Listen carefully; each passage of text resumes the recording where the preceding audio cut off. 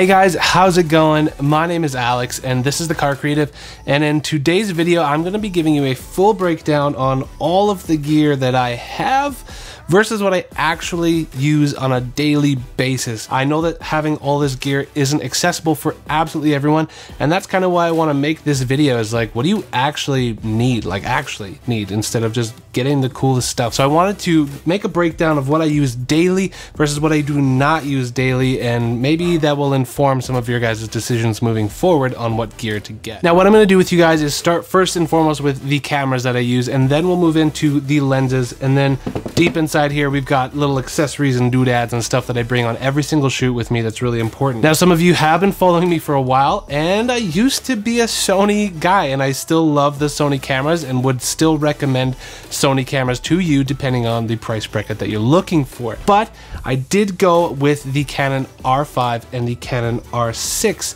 as my main bodies in 2021. Now, the reason for that for me is because they work well within the ecosystem that I have built. For example, we are filming this video on a Canon C200, which is a cinema camera. The reason that camera is amazing is because you can put the audio directly into the camera, no syncing issues. It shoots in 4K, 8-bit. It just does a really good job and of course is capable of shooting RAW. Now on the daily, I'm going to be going with the Canon R5. The reason for that is that it shoots up to 8K RAW. It does on the daily and what I like to shoot at, which which is 4K. Uh, it does up to 10-bit color 422, which is a great color codec, which just means it sees more colors in the spectrum. For those of us that are doing a little bit more heavy color grading or are working professionally, having that 10-bit codec actually helps a ton with bringing back the colors or manipulating colors in video specifically. Now, both the Canon R5 and the Canon R6 can do 4K 24, 4K 60. The Canon R5 can do 4K 120, uh, which is crazy and it's so fun to shoot with that. And of course, the Canon R5 and the Canon R6 have the flip out LCD screen, which is so ridiculously handy for you Sony users that are still on the a7 III.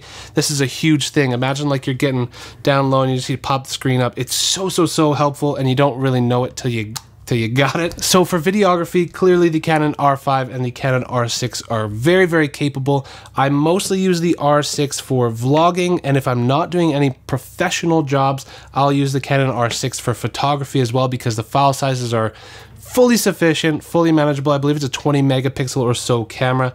The Canon R5 is about a 45 megapixel camera and can shoot incredible photos, but oddly, I believe the R6 is better in low light, so more of an equivalent towards the Sony a7 III. So if you're looking to get into the Canon ecosystem, I'd suggest the Canon R6. The autofocus, in my opinion, is better than the Sony's. The user interface, in my opinion, is better than the Sony's, but they all have pros and cons. I believe that the Sony has better dynamic range. So there's lots of things to keep in mind as well as your budget, what you can get either new or used. Now on the Canon R5 and R6, I have these adapters.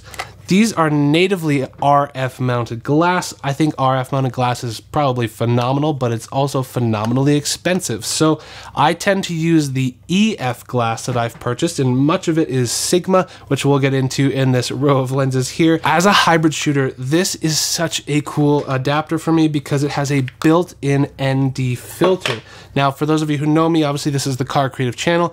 A built-in ND filter allows me to actually put a polarizer filter on the front of my lens. So having this on the back side and a polarizer filter on the front side makes my car photography and videography kind of just work really seamlessly together. And I love that feature, super helpful. And then on the R6, I have a general just kind of RF to EF adapter. This one does have a ring on the front of it so you can control things like ISO aperture of your lens if you so choose on that. And of course we've got the little GoPro here guys. The GoPro is great for just mounting on vehicles or anywhere or just action cam stuff. The drone that I've gone with this is the DJI Mavic 2 Pro with the Hasselblad glass on it. This drone is absolutely phenomenal, to be honest. For video, it does shoot up to 10 bit quality color, which makes a huge difference when you're trying to bring back the saturation in your images. An amazing photography camera as well, but I mostly use it for videography. I don't know if I'd fully recommend if you're just getting into it now. I bought this a couple years ago.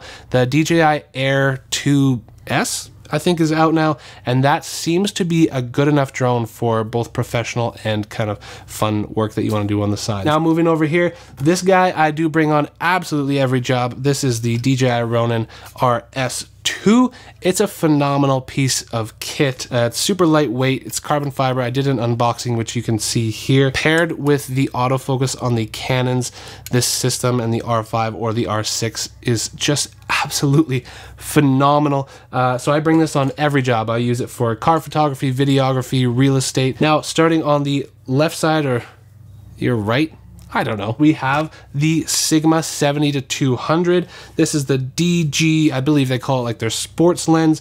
It has an 82 millimeter thread, and of course, it's just an absolute beast. Now, again, with Sigma, you are getting into heavier lenses. This thing's quite heavy, but it does everything you need. It has optical image stabilization, which some of them don't. It has manual focus, half manual focus, two different versions of stabilization.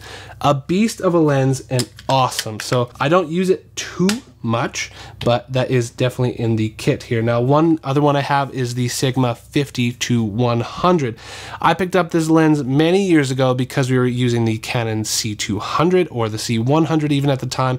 Now, this is a crop sensor lens as well as the 18 to 35 that we're filming it with. Something to be aware of when you're looking into the Sigma glass. The 18 to 35 and the 50 to 100, they seem like incredible options because they cover such a great range at an aperture of f1 1.8. So highly recommend if you are using any crop sensor cameras, these lenses are phenomenal. They're heavy, but they're amazing and they will be good for you for years and years and years. So highly recommend looking into the 50 to 100 or the 18 to 35 if you're on a crop sensor. Now moving on, this is the Canon macro 100 millimeter lens a beautiful lens. It does have image stabilization. Obviously great for close-ups and obviously Peter McKinnon loves this lens. A lot of people love this lens. Next up on the table, we have the Sigma 24 to 70. Now a 24 to 70 lens in any kit is so dependable. It covers an amazing focal range and usually at an aperture of 2.8, which lets just enough light in for your average day,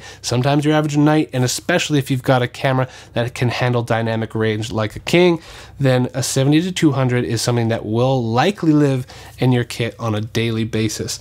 This Sigma one that I have here is really nice. It's beautifully built. This one has an 82 millimeter thread, and we'll get into why those threads are more important a little later on because of ND filters and CPL filters. Cons, I would say, for this is that it's big and it's a little bit heavy compared to some of the other options. Now, of course, most people got this guy and you're willing to throw it around a little bit, but this is the Nifty 50. This is the version 2, so it's not the first version and it's not the RF glass version it is the EF version 2 which means that it has actually a metal mount here instead of the plastic mount Again, not something that makes its way into my kit super often, but if you're looking to get into prime lenses and you just want to start with something, this thing is so cheap and actually the image quality is pretty great. I did do a video review on it and I'll leave the link here and if it's not here, it'll be in the description below uh, shooting my old Tacomas. Getting into my favorite lens of all time, folks, this is the Sigma 35 millimeter f1.4. Now it looks a little funky on the end here because I have some step up rings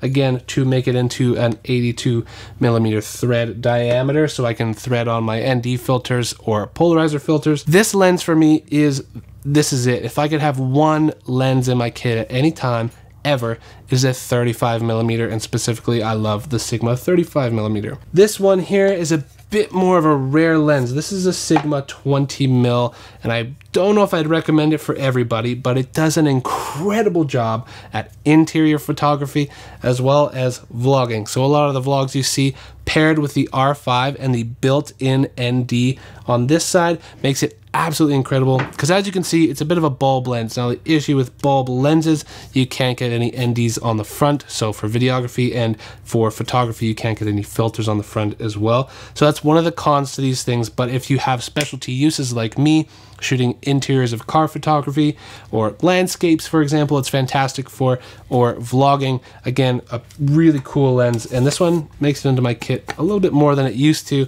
um, because I'm kind of falling in love with it. a little bit. Okay, so there's a quick rundown of all of the gear that I have. Now let's hop into the Pelican case and I will show you guys what I would put in there if I was going on a shoot, because obviously you can't take everything, as well as some of the accessories that I need on a daily basis, um, what I bring on a shoot. Okay guys, so as I was mentioning in my case, I have a ton of filters. Filters like ND filters, we got polarizer filters, we've got Allure filters, and this one here is kind of a misty pro mist filter. Um, these are all sent to me from NiSi Global, an incredible glass uh, brand, and they sent them to me, which I'm super grateful for. If you're looking for not as high of quality glass, that's totally fine. It totally works. So just check some of the links down below because I've used everything from uh, Amazon Basics to Polaroid to now NiSi because they were gracious enough to send them to me. Diving inside here, we also have the Rode Video Micro, which I use for vlogging or any scratch audio. If I'm not using this as my main audio source, I'll be using these Sennheiser wireless mic packs. These are incredibly high quality and I'll plug them into my Zoom H4. So this is how I do some of my kind of onboard audio for any professional gigs. Now these guys here, these are so handy. Now if you're like me and a car photographer or videographer, walkie-talkies, you can get them so cheap, but man, they will make your life so much easier when you're on a shoot. Just being able to talk to people, give this to your driver, give this to your subject, whatever it is, just get these. They're so, so helpful. So these live in my case as well. Uh, chargers. Generally, I don't take these with me, but they live in there as well as batteries. So we've got Canon batteries. Always bring in extra double A's because you never know when you're going to need double A's. So I just get the Amazon Basics ones as well. Uh, a screwdriver, this one is a super small one that comes with a whole bunch of different kind of threads in it, which makes it super easy. Don't leave home without this guy. Base plates for tripod, and that's pretty well it for what goes in here. Now, if I was to kit up for a video, what I'm going to bring with me is first and foremost the Canon R5. And the lens that I would put on my Canon R5 is, you guys know it, the Sigma 35 mil.